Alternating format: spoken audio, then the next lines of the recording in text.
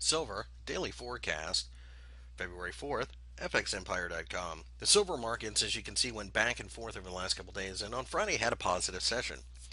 We did find some trouble at 32, but that just looks like more consolidation at this point.